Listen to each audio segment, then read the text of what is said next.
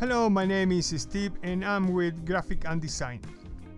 In today's tutorial I'm going to show you how to create this curve in uh, text and how to add this border as well. Uh, for this tutorial I'm using Affinity Designer 1.73.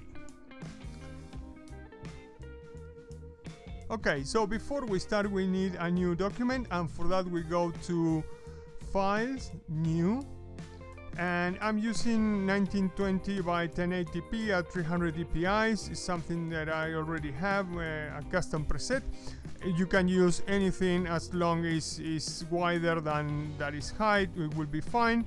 Or leave all the rest as it is and you click OK and now we have our new document. Now before we continue make sure that you go to uh, to view and make sure that you have selected show guides show rulers, show context toolbar, and show toolbar. Okay, so in that way we have exactly the same settings. Perfect, so let's, let's start. First of all, uh, this technique is not going to work in every single type of font that you have. Uh, let me show you. First of all, what I'm going to do is I'm selecting my text tool. I'm going to click and drag to give it some height. And I'm going to click uh, Affinity. I'm going to use this word. Uh, let me click on my selection tool. Still is too big, so I'm going to make it a little bit smaller. Let's start putting this in the middle. There we go. Something like that. Okay, the first consideration that you have to have is First of all, don't use any serif uh, font. Use any uh, sans serif and obviously not script or something like that is going to make your life difficult because in Affinity uh, Designer, at least for now, we don't have the warp uh, function, uh, at least it's not yet. I hope the, the guys from Serif will include it in any uh, future version. Anyway, so what I'm going to do is I'm going to select my text and any font that is for example like um, Arial, um, I don't know, um, what else, Bebas, uh, Beirut, all those ones that are beefier and they are uh, chunky. For example, chunk 5 will not work because how it is um, at, at, at the bottom of each of the letters. Uh, obviously, any serif, as I said before, uh, like um, uh, or Cochino, any any one of those ones, or rounded, for example, like uh, Comfortaa, uh, all those ones, stay away from from those ones. Is going to make your life quite difficult. The one that I use is always is Bebas, and I use the bold one. So perfect. Now that we have that out of the way, I'm going to make it a little bit bigger I'm going to put it there so now I need to create an arc. And for that what I'm going to do is I'm going to click on my um, pen tool. I'm going to select in that corner. I'm going to select that other corner. So now we have a line. I'm going to move it down. Click shift so you can move it on that in the same axis and now what I'm going to do is I'm coming here I'm going to select my node tool. I'm coming here to the middle. I press to I click to actually to create another node. I'm going to press control and then click on that node so I make it smooth. Now I'm going to hit shift and move it up. Somewhere there will be fine. And now what I'm going to do is first I'm going to click on one of these handles. Then I'm going to press control on the keyboard so now when I expand both moves at the same time. So I'm going to move it somewhere somewhere there I think is fine. I don't know if this one is actually centered so what I'm going to do is I'm going to um, sorry click all of them. And I'm coming here to my alignment. I'm going to select and align to um, selection bounds and I'm going to click on horizontal. So now this one is actually right in the middle. So now it's actually in the middle. Perfect. So I'm going to make I'm going to click first command and I'm going to drag this one a little bit like this.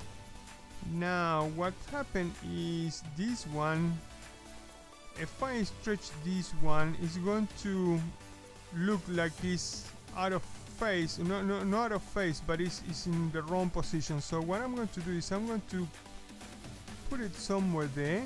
I'm going to get some distance in between them. And then I'm going to move it like um, 10 pixels or something like that to the right. Okay? Perfect. Now that we have th that done if you want to modify the spacing between the, the letters now is the moment. You go to your character tab um, and then um, you select your kerning or your tracking from here. If you don't have this character uh, tab here in your contextual toolbar you have that A there if you click on that one it brings actually that this character for example let me close it there. If I click us there and then you can drag it. I, I personally like it there uh, usually day is fine. Perfect. So now what we are going to do is we need to separate all, all these uh, letters.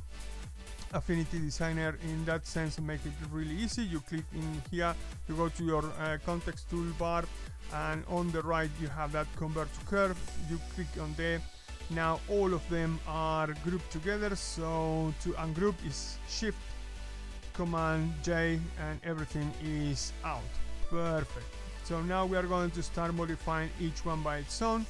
What I'm going to do is I'm going to drag the A and I'm going to put it uh, somewhere there now you can choose anywhere you want especially the A because of the middle part there uh, I'm going to move this one right away to the close by is more than enough. It doesn't need it doesn't need to be perfect just only stretch it to that point in there. Uh, somewhere close by is fine. And the Y I'm going to move it there. Fantastic. Now we need to start fine-tuning all these. Uh, don't worry this is going somewhere. So uh, bear with me. So I'm going to first uh, zoom in. I'm going to choose uh, my node tool I'm going to click on the A and make sure that you have your snap all those set up. Now I'm going to click in one of the nodes hit shift first then click and drag and as you can see it moves exactly in the same um, in the same line. It keeps the angle. That is very important. If you do it without shift what happens is you are going to move it something like this and it's going to start uh, looking not really nice and then uh, you have problems because it's, it's something like this or something like that. So even if you are in there you click shift and then when you match the same angle it will become that um, I think it's kind of pinkish type of uh, color. Anyway so I'm going to do exactly the same for everybody for every single node. Now you as you can see when I'm dragging and I'm reaching uh, or snapping on the on the curve that we have at the bottom it becomes yellow okay? So that is telling you that actually is uh, snapping correctly. Mm, so perfect, let's go and do every single little one of these ones, make it close, make sure that it becomes uh, yellow, so you are snapping, and remember always to press shift, so you keep it exactly in the same, uh, with the same angle. Okay, uh, I think we finished there, let me see. Oh no, sorry. ah, I was missing this one. Perfect. Well, let's go there and let's go there. Now we are talking. Now we are cooking with gas. This is perfect. Fantastic. So as you can see what I told you, always remember take care of the A because it has a diagonal going out in this side. So if you don't, if you leave it perfectly centered then when you stretch this one it's not going to look nice. If you have two A's one at the at the beginning and one at the at the end it doesn't matter because both are going to look exactly the same. Perfect. So we have this part done. Now let me choose this one there. Now what I'm going to do is I'm going to select each one of these letters. And I'm coming here to my bar toolbar at the top and I'm going to choose in ge geometry. I'm going to click the button to add. So now all this becomes just only one curve. Now I'm going to choose this one and what I'm going to do is because if you think about it and you see now perfect.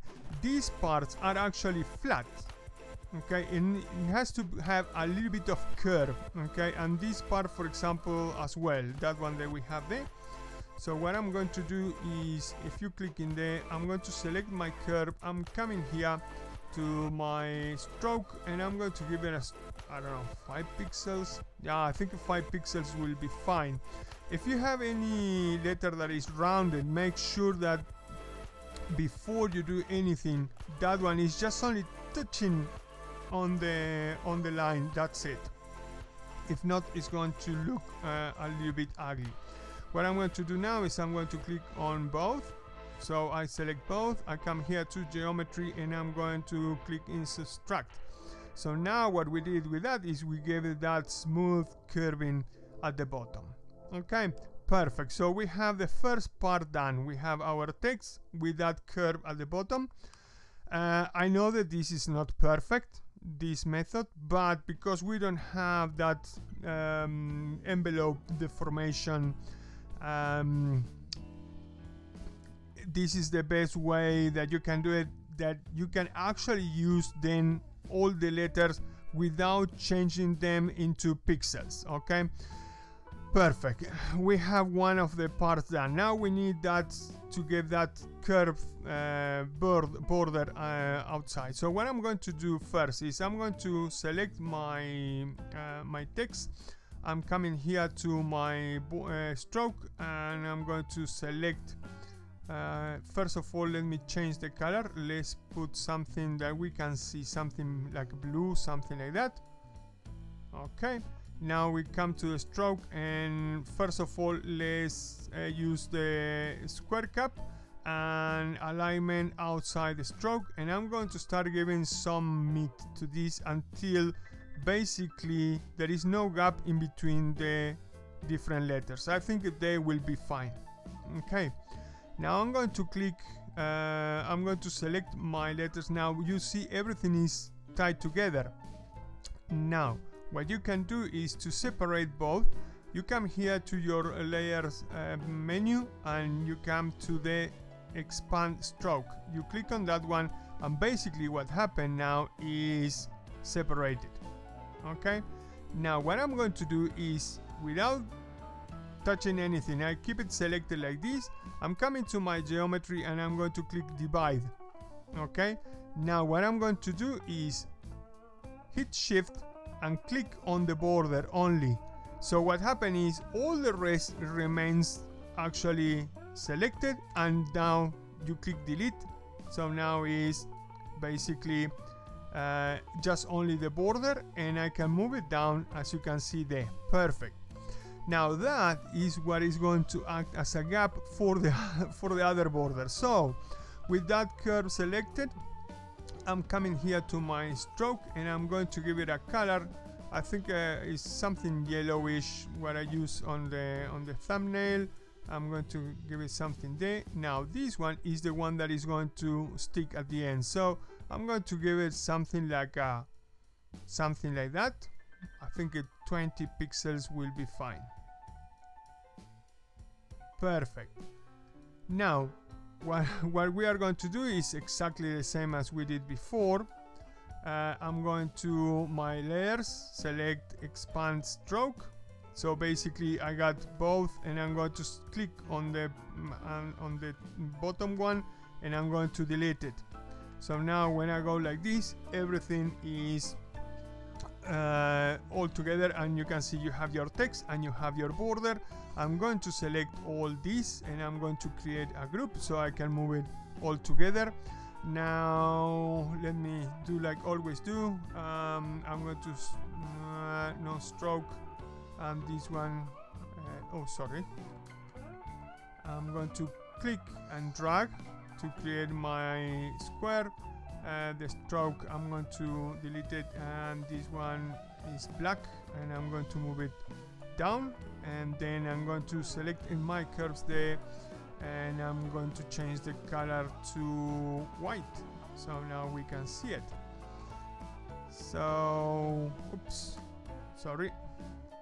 That one there so I can take this one move it somewhere there and then drag it to make it bigger uh, just only so you can see it much better.